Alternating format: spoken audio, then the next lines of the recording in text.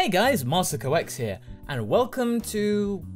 Actually, you know what? Let's make this an informal MasakoVox, shall we? For those of you who don't know what MasakoVox is, it was a little series that I made in 2009-2010 talking about the joys and tribulations of voice acting, and it's mostly joys, I can assure you. It was all very comprehensive, however, now looking back on it, it feels a little bit more regimented and strict, and I don't want to be that guy that goes, actually you have to do this, and you have to do this, this, this, and that. No, I don't want to be like that.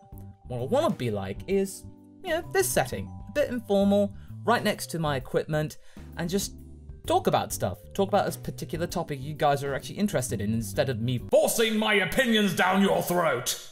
Sorry. Where do we begin? Well, first off, you need a microphone.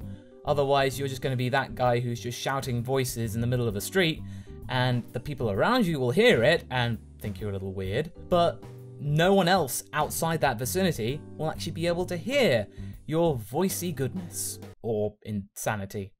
Depends on what their mood is that day. Put simply, a microphone is a tool to enable you to record audio, and then through the magic of saving audio files as digital data, you can actually just play it back later for anyone to use, copy, or just play back. Now I kind of want to go over the 11 year voyage that I've done with microphones over the time that I've been on the internet properly. I started off in 2005 with a very cheap Logitech USB desktop microphone. 15 bucks, that cheap. And that was back in 2004 because I had this microphone before I started, so I just stuck with what I had. And I recorded the first 11 episodes of Naruto abridged with it. It was alright for the time, when the bridging standards were much lower than they are today. But eventually, when you want to get a little bit more elaborate and you want to scream, especially these days when screaming for DBZA is pretty much part of the course, you need something a little bit more substantial. And that's what I moved to in 2007 with the Samson CO1U. That was kind of the moment when USBs went from, ooh, look at that USB microphones, isn't that a novelty? to, oh, okay, they're being serious. Huh.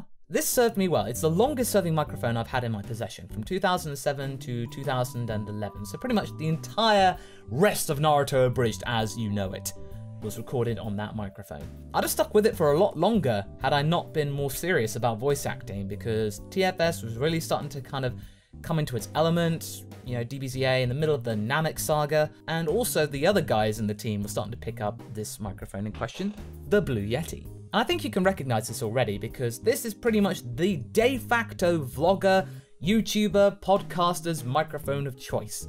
For anyone that just wants to take the step up and have something that's very good and very solid, this is your guy. I can't stop tapping it. The Yeti is a great microphone to have. If you pick this and you're serious about voice acting, this is going to do you good. But, this is the big but, because Blue in their absolute infinite wisdom chose to go the Apple route and go proprietary. And by proprietary, I mean they started making their own accessories at hugely inflated prices. And the one thing that tipped me over the edge was to get a shock mount, which means I could put it on a little stand. It cost 60 pounds or 100 bucks. What? And even then when I got it, it didn't work.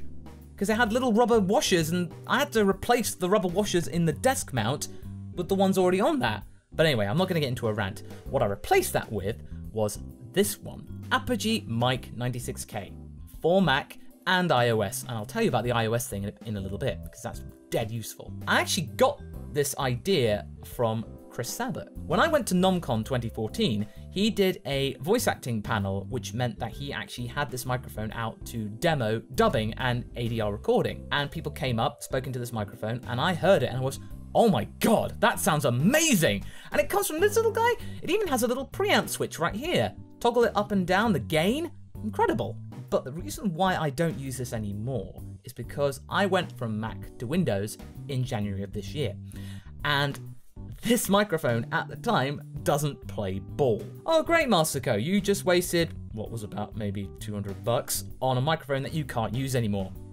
Ah, you're wrong. What I have is a little portable stand that comes with the microphone, microphone itself obviously, and the cable, which is actually lightning to USB-Y. And the important thing is, you can record using your phone. If you want to record remotely, you can, and it's bloody good quality. So now this is my traveling mic. Now we come to present day. And what I use right now is the King Bee microphone from Neat Microphones, which is a division of Gibson. And it's my first XLR microphone. And by XLR, I mean the actual connector that is used for microphones. And it's the standard in the music industry and audiovisual circuit. And one thing I must stress upon when you're getting to this kind of territory with XLR microphones and high-end USB microphones is that it gets expensive. It does. However, you have to consider this. If you're really thinking about making voiceover your career, you've got to invest in the material because the better quality microphones that you have, the more work you're likely going to get. This actual cover, this doesn't come with the microphone by the way.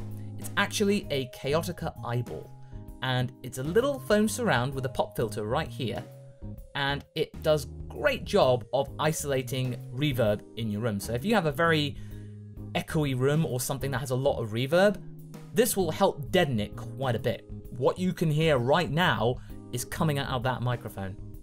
Or actually going into the microphone. I'm out here.